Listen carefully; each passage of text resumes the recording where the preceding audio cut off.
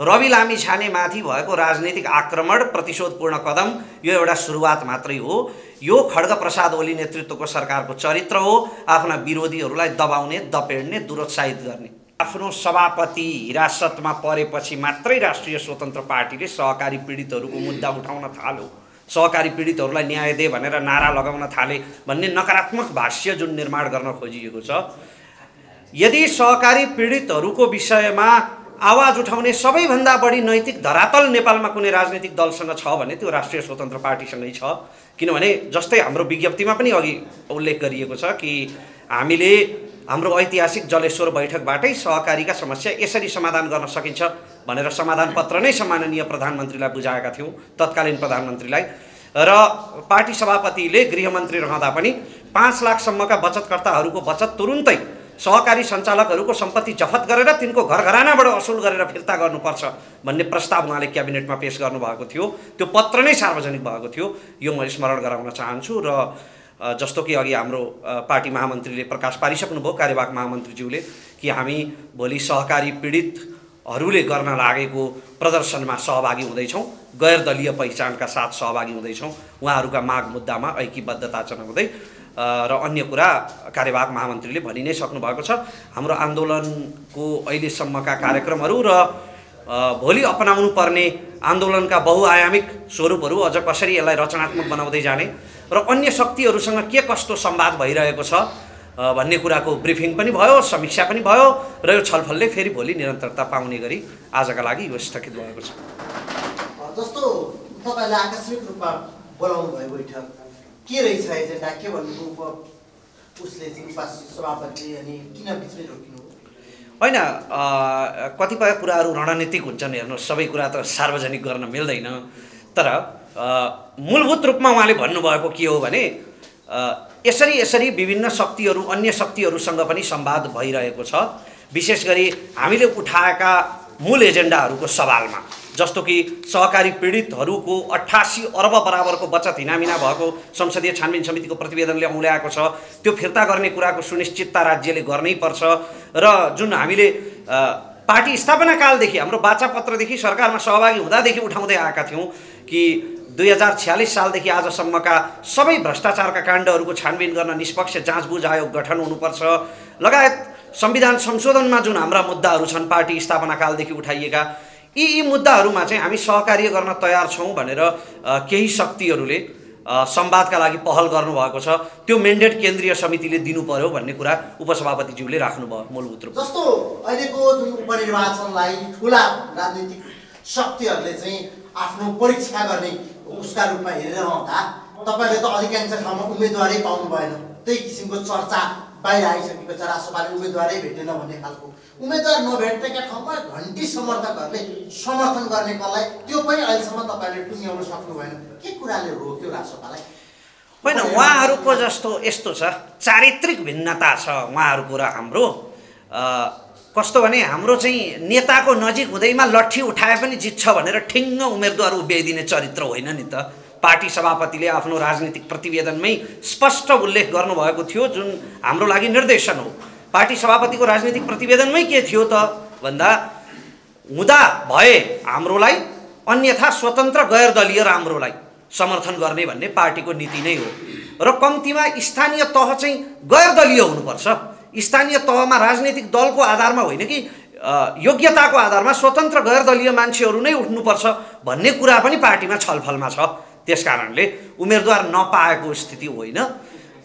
केही ठाउँमा अब भौगोलिक विकटताले गर्दा अथवा हाम्रो अलिकति साङ्गठनिक प्राविधिक कुराले गर्दाखेरि त्यस्तो भएको हुनसक्छ। यद्यपि अधिकांश ठाउँमा हाम्रा उम्मेदवारहरू तय हुने क्रम जारी छ र यदि हामीले चाहे जस्तो सोचे जस्तो योग्य उम्मेदवार नभेटिएको अवस्थामा हामी स्वतन्त्र गैर दलीय उम्मेदवारहरूलाई समर्थन गर्छौँ। घन्टीका समर्थकहरूले समर्थन गर्ने पनि उहाँहरूलाई नै हो। जस्तो यहाँले भर्खरै भन्नुभयो भोलिको अथवा अन्य कुनै आन्दोलनहरूमा चाहिँ यहाँले चाहिँ पार्टीको झन्डा र पार्टीको पहिचान नहुने गरी गैर दलीय रूपमा चाहिँ हामी चाहिँ त्यो आन्दोलनमा ऐक्यबद्धता जनाउँछौँ भन्नुभयो। रासोपा अहिले नै किन डरायो अथवा किन चाहिँ यो निर्णय गर्यो रासोपाले? रासोपा आफ्नो झन्डा बोकेर त्यो ठाउँमा जान डराएको होइन होइन। जनताको मुद्दालाई राजनीतिकरण गरेर भोट ब्याङ्क वर्षौँसम्म बनाएर समाधान नभएका मुद्दाहरूका हजार दृष्टान्त छन् यो देशमा। सुकुम्बासी समस्यालाई कसरी पार्टीहरूको भोट ब्याङ्क बनाइयो अन्य अन्य समस्यालाई कसरी अति राजनीतिकरण गरियो र त्यो समस्या कहिल्यै समाधान भएन भन्ने सत्य जगजाहेर नै छ। त्यसकारण हामीले पार्टीले गर्ने विरोधका कार्यक्रमहरू छँदैछन्।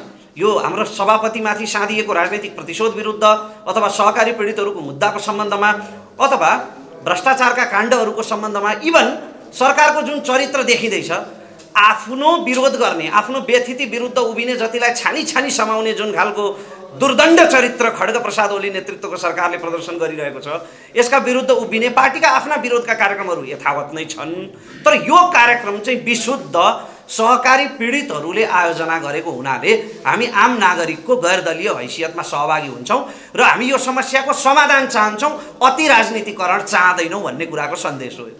खास गरी नयाँ र वैकल्पिक शक्तिहरूलाई म आज फेरि पनि आह्वान गर्न चाहन्छु इन्फर्म गर्न चाहन्छु जानकारी गराउन चाहन्छु अवगत गराउन चाहन्छु निवेदन गराउन चाहन्छु कि रवि लामी छानेमाथि भएको राजनीतिक आक्रमण प्रतिशोधपूर्ण कदम यो एउटा सुरुवात मात्रै हो। यो खड्ग प्रसाद ओली नेतृत्वको सरकारको चरित्र हो आफ्ना विरोधीहरूलाई दबाउने दपेड्ने दुरोत्साहित गर्ने। हस् thank you so much to an ta hasa da bayani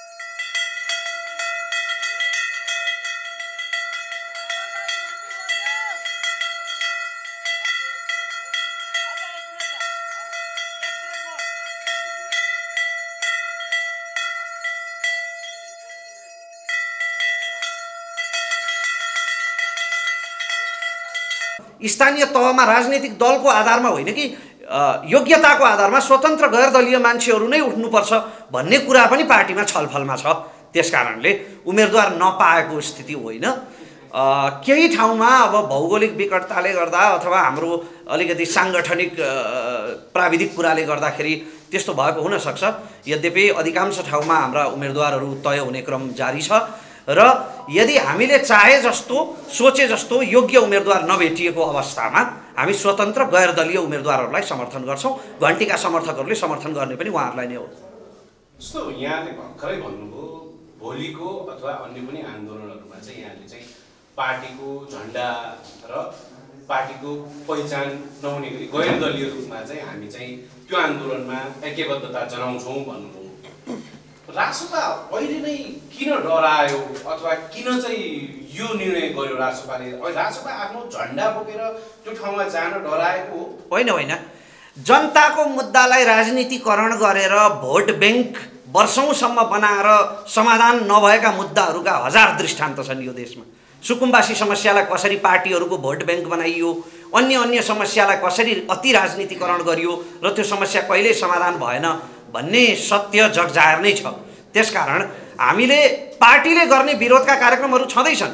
यो हाम्रो सभापतिमाथि साँधिएको राजनैतिक प्रतिशोध विरुद्ध अथवा सहकारी पीडितहरूको मुद्दाको सम्बन्धमा अथवा भ्रष्टाचारका काण्डहरूको सम्बन्धमा इभन सरकारको जुन चरित्र देखिँदैछ आफ्नो विरोध गर्ने आफ्नो व्यथिति विरुद्ध उभिने जतिलाई छानी छानी समाउने जुन खालको दुर्दण्ड चरित्र खड्ग प्रसाद ओली नेतृत्वको सरकारले प्रदर्शन गरिरहेको छ। यसका विरुद्ध उभिने पार्टीका आफ्ना विरोधका कार्यक्रमहरू यथावत नै छन्। तर यो कार्यक्रम चाहिँ विशुद्ध सहकारी पीडितहरूले आयोजना गरेको हुनाले हामी आम नागरिकको गैर दलीय हैसियतमा सहभागी हुन्छौँ र हामी यो समस्याको समाधान चाहन्छौँ। अति राजनीतिकरण चाहँदैनौँ भन्ने कुराको सन्देश हो।